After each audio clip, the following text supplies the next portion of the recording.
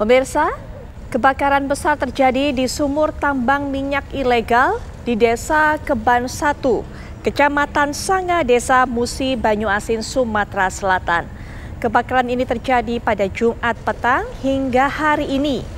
Akibat besarnya api bercampur dengan gas, belum bisa dipadamkan.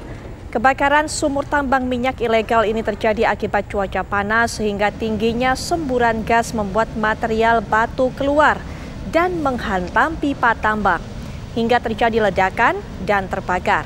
Aparat kepolisian Polres Musi Banyu Asin bersama Polda Sumatera Selatan berhasil menangkap pemilik lahan yang juga pemilik sumur tambang minyak ilegal bernama Aizon yang kabur ke Kabupaten Musirawas. Polisi juga mengamankan alat pengeboran sumur tambang, minyak mentah, serta mesin genset yang digunakan tersangka untuk melakukan penambangan.